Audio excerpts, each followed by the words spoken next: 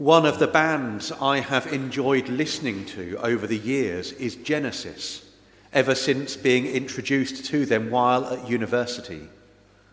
A band whose first album back in the 1960s flopped because when music shops received it, they took one look at the band name and put it in the religious section. With it being prog rock, the two things didn't really fit together very well. As with many bands, there are controversies. Was it better when Peter Gabriel was the singer in the early prog rock years, or when Phil Collins became singer and they sold out, becoming pop and more mainstream? You can tell what my opinion is just by the way I phrased it. The third vocalist, Ray Wilson, is mainly forgotten about by most people, including Genesis themselves. But during the Phil Collins years, Genesis released a single, Jesus, He Knows Me, the story of a fictional TV evangelist calling people to send money to him in order to be saved, calling people to trust this evangelist more than anyone else. Some of the words Jesus, He knows me, and He knows I'm right. I've been talking to Jesus all my life. Oh, yes, He knows me, and He knows I'm right. And He's been telling me everything's going to be all right. And then later on in the song, even more scathing, you don't have to believe in the hereafter, just believe in me pointed criticism of something which have grown up for those big TV ministries. I read not long ago about one TV evangelist, probably not TV so much nowadays, who needed money to buy a private jet plane. Apparently, he needed to travel a lot with his ministry, fair enough, but couldn't travel on a normal plane with normal people because it would affect his prayer. What is that saying if he's saying he's so important he needs to travel on his own, away from everyone? At the same time, linked in with these big TV evangelists and things is the idea of the prosperity gospel. If you give to this ministry, if you pray enough, you will be given lots of money by God and be ridiculously wealthy. I don't remember seeing that in the gospel anywhere, to be honest. But let's move on to today's epistle, the letter to the Romans. This reading in a letter to a fairly new community of Christians in Rome seems to sum up so much of what being a Christian, being a follower of Jesus, is all about. Love, hate evil, hold on to that which is good, love one another Show honour to one another. Be full of enthusiasm to serve God. Rejoice in hope. Be patient if you suffer. Keep praying. Contribute to the needs of the saints, to the church. Show hospitality and welcome to strangers.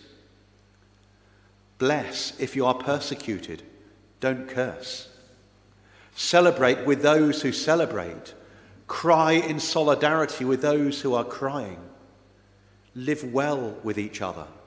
Don't boast. Overcome evil by doing good. There's nothing there about buying a new jet plane for an evangelist. Nothing about being given untold riches if you pray enough. Rather, showing love, care, concern to those around you, serving the community, showing that following Jesus makes a difference to your life. Support the saints, support the local church. Show love and care to the community in which you live and serve, and support the church. It seems so much to sum up the parish system, really. We are all set within this Church of England parish, this roughly 10,000 people who live within the Vale.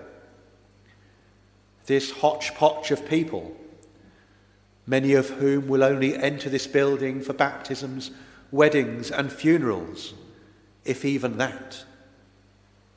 But we are called to serve them, to show that God loves them, no matter what is going on in their lives, no matter what they may or may not have done in the past no matter whether they believe that God exists or feel that God couldn't possibly care about someone like them. We are called to show God's love to them. And we are called to support the needs of the local church. We, as members of the community of Saint Michel de are not passive onlookers expectantly waiting to see the church grow through the work of the rector with no input, whether encouragement or whether assistance in practical or financial form. No. We are called to support the needs of the local church.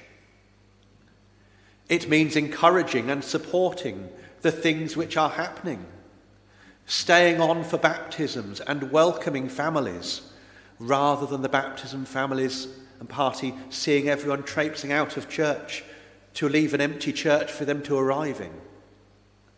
It means volunteering to help in the things which are happening or could happen. The Family Fun Day yesterday being one example. It means praying for our community and for the things which are going on not just here on a Sunday morning, but throughout the week. It means giving financially and sacrificially to enable things to happen. Being a follower of Jesus is costly. Jesus summed that up in the gospel reading. If you want to become my follower, take up your cross and follow me. It isn't about building up riches in this world. It isn't about receiving massive financial rewards from God.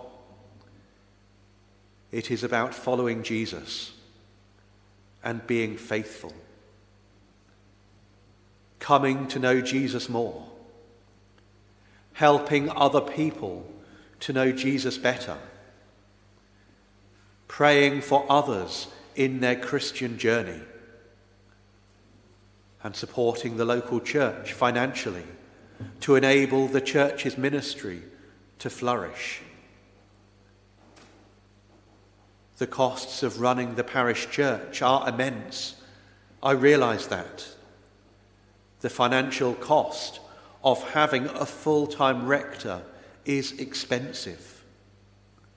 But I can assure you it's nothing to do with buying a jet or other ridiculous costs.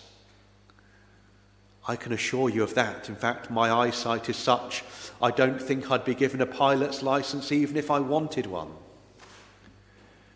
The parish share pays for the rector's stipend, it pays for pension contributions, it pays for keeping the deanery running, and for things such as safeguarding support and training from the diocese. They are real costs and as you probably realize, we are not able to pay our way. Last year, we paid roughly two thirds of the parish share, which means the deanery needed to subsidize us. But the deanery does not have a bottomless pit of money, and we're not the only parish in this situation. To put it bluntly, the money will run out, as will our reserves if we're not careful. The pew sheet tells us each week the previous week's collection and planned giving compared to the actual cost of operating the church. Do you ever look at that? If so, what is your response? Oh, that's a shame. Oh, that's funny. That's never going to happen. Oh, someone else will pay. Is it terror? Is it just, well, I can't think about that because I can't cope with thinking about it? Is it thinking, well, this ain't going to last for very long? We need to support the mission of the church. We need to help new people come to faith. We need to go deeper in our own faith. And we need to support the needs of the church. Maybe it might be possible for you to increase your giving, although I realize many people are giving as much as they can in this difficult time. Or maybe you might be able to leave a legacy to the Vale when you die, which hopefully won't be for quite a long time, admittedly. Because surely we want to make Jesus known to those who do not know him. Surely we want to ensure the parish of Saint Michel du Valle continues to do this for generations to come as all of us in the Vale come to know Jesus more. In the name of the Father, and of the Son, and of the Holy Spirit. Amen.